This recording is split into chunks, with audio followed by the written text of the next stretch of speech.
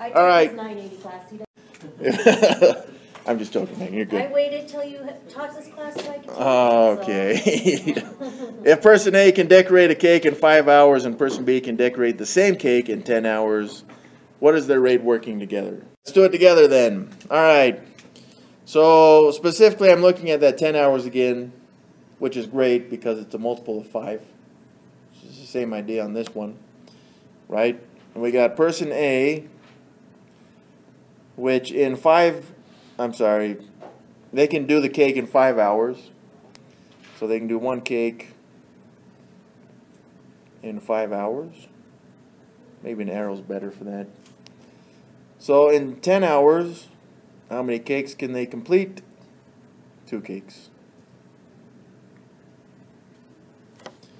Now, if we compare this to person B, all it tells us is that in the 10 hours,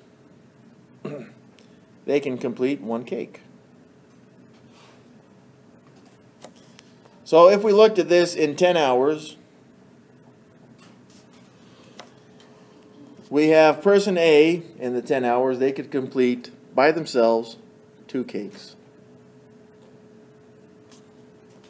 On the other hand, we have person B who could finish in 10 hours one cake. So when we add those two together, we know how many cakes we have from both people in 10 hours. And that would be three cakes in the 10 hours. now that was working together, right?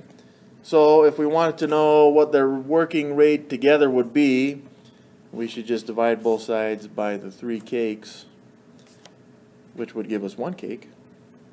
So they can do one cake in every, we'll say three and a third hours.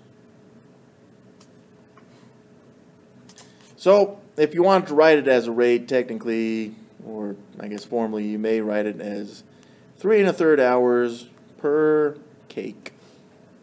So if they wanted to say how many cakes, When they want the rate, they usually want a unit rate, so they want one of the values to be one, whether it's one cake or one hours.